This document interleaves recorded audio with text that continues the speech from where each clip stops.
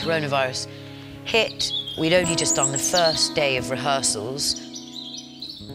We told everybody that anyone who didn't have anywhere to go could stay. Hi, I'm Denis Remnev. I'm a fourth generation of the circus performer. I'm Tatiana Zhiganova. We're married. Normally he cook very good, that's why we're working together. blah, blah, blah.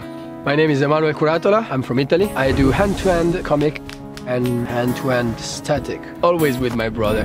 First I didn't notice him so much, this little tiny Yeah, Italian Danny. guy. My name is Tatiana, I'm from Ukraine. When we first found out what's happened, we were a bit scared and we didn't know what to do. The performers are not working for us and have had nowhere to perform. The Barn Theatre has given them a stage. They've created their own acts. Themselves.